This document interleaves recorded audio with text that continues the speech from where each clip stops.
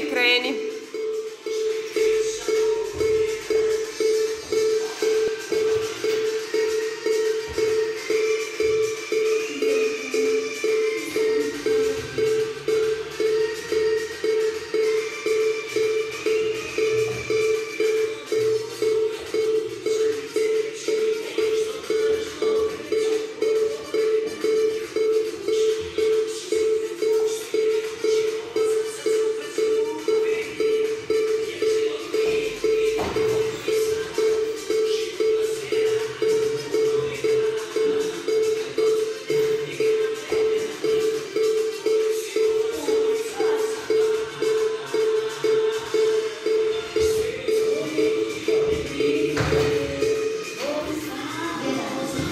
Jedan.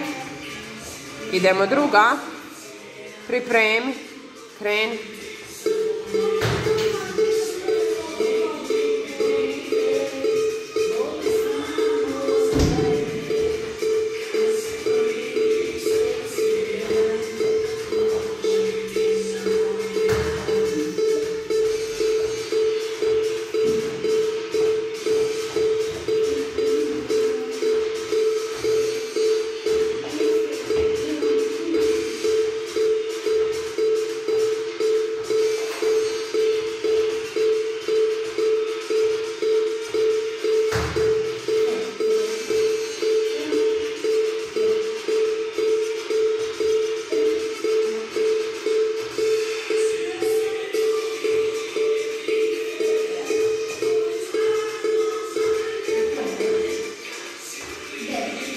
Devet.